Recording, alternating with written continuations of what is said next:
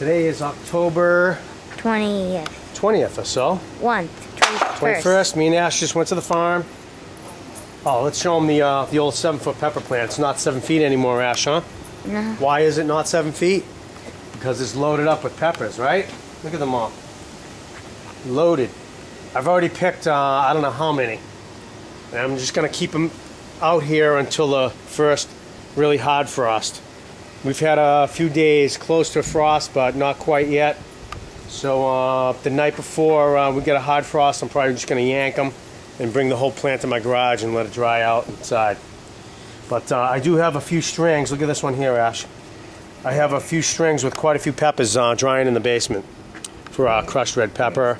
And I have the biggest of them uh, for seeds for next year. Okay, Ash, they're all over the place. This thing is just loaded up. It's sagging over, and I already took a lot of weight off them also.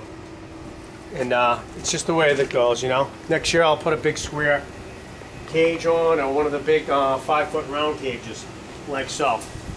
But uh, just want to show you one last thing here. Me and Ash just came from the farm. And we got the mother load, Ash, right? Mm-hmm. I'm going to toss them in here, some potatoes. Finally, we're going to make uh, potatoes and eggs. Recipe on the other channel.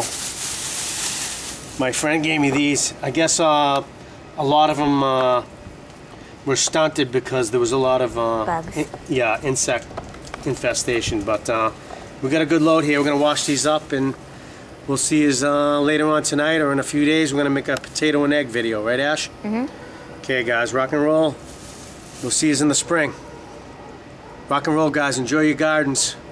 We're gonna uh, wash these potatoes and talk to you all later. Enjoy your gardens, folks. Oh, those are looking good, Ash, huh? Mm-hmm. We got a few red ones in there too. Beauty.